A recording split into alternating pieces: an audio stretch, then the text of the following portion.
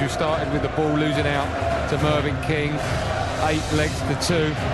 Great win for Mervyn, that was. Second up was the Wizard against the Rocket, and the Rocket was just in fine form. 5-8 when he backs to one.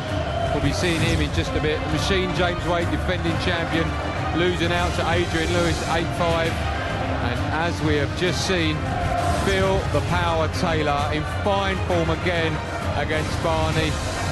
I think it's fair to say we haven't really seen the best of Barney for some time, but that win for Phil Taylor pushes him even closer, automatic qualification for finals weekend. 15 points, played 8, won 7, drawn 1, and as you can see, he has lost to no one in this season's Premier League. I'm glad to say that uh, Phil the Power Taylor is